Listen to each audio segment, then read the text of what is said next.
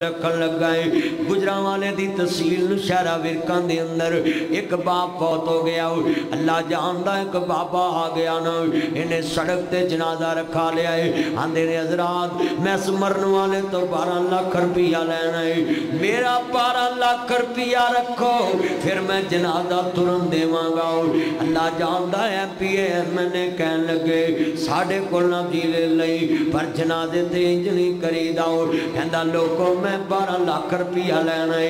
ہن اے دے پتر پیچھے کھڑے نے، کوئی اگے ود کہہ نہیں کہہ رہا ہوں میں اپنے بابے دا قرضہ اتار دے مانگا دوسرا نہیں کہہ رہا، میں قرضہ اتار دے مانگا تیسرا نہیں کہہ رہا، میں قرضہ اتار دے مانگا چوتھا نہیں کہہ رہا، میں قرضہ اتار دے توجہ میرے والے، پنجواں نہیں کہہ رہا، میں قرضہ اتار دے مانگا چھواں نہیں کہہ رہا ہوں ویڈیو بابا گرم ہوندا جا رہا ہے۔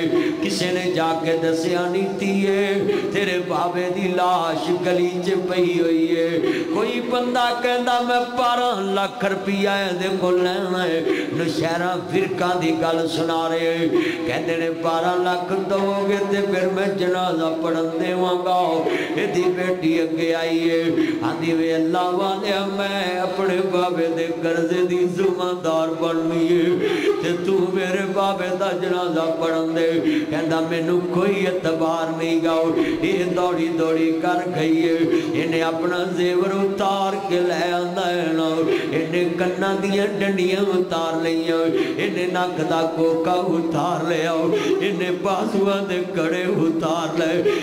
انہیں گل دے طویر تو تار لے انہیں کٹھیاں اتار لیاں نے انہیں گیرا بابل دے ہاتھ سونے دا زیور سیٹ اتار لے آئے آندھی وے اللہ والے آؤ اے میرا زیور میرے بابے دا قرضہ معاف کر دے جے تیرے پیسے پورے نہ ہوں میں تیرا قرضہ آپ اتار دے مانگی مکان بیچ کے اتار دے مانگی میرے بابے دا جنازہ پڑھن دینا میں تو اپنے بابے دی لاش گلی چ پئی ویکھی نہیں جاندی اس لڑکی نے زیور بابے دے ہاتھ دے دیتا ہے انج کر کے جدو عزیزاں نے مسلمانوں بابے دے ہاتھ زیور آ گیا ہے آتا لوگوں میں بارہ لکھ لینا نہیں جے میں اس بابے دا بارہ لکھ روپیہ دینا سی میں صرف ایکھن آیا دا حقیقی وارث کون ہے بابے نے مینوں کیا سی میرے مرن تو بعد میرے وارثاں نو دے دے وی نہ